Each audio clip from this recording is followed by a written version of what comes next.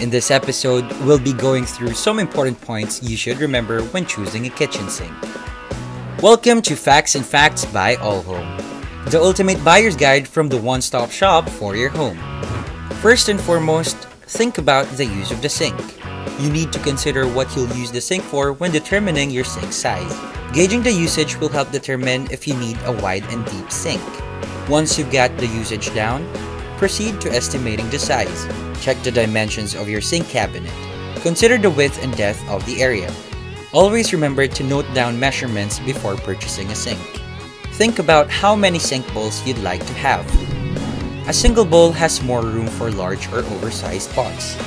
Double bowls provide two workstations suitable for washing, rinsing, food prep, and cleanup. Top mount sinks insert into pre-cut holes of the countertop. This is the easiest type to install. Undermount sinks are installed under the counter. This provides easy cleanup and is most recommended for solid surfaces and granite. A farmhouse sink features a wide base and deep single bowl with an exposed front. Stainless steel sinks are very low maintenance. They are corrosion and rust resistant. And as long as they are cared for properly and wiped down after every use, they should not stain. Cast iron sinks have a thick enamel top layer that has a beautiful glossy sheen.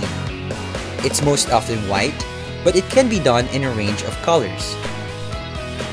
Granite or quartz sinks are extremely durable. They are also scratch resistant and stain resistant.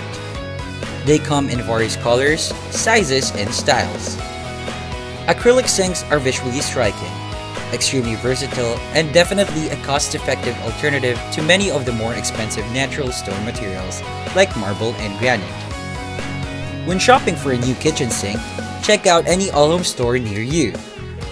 You can also visit our website at www.allhome.com.ph and use this voucher code to get 200 pesos off on your order. Or visit our Shopee and Lazada shops at Allhome Official. Don't forget to like, share, and subscribe to All Home's channel. We have prepared a lot of home tips for you and we can't wait to share them with you. See you in our next video.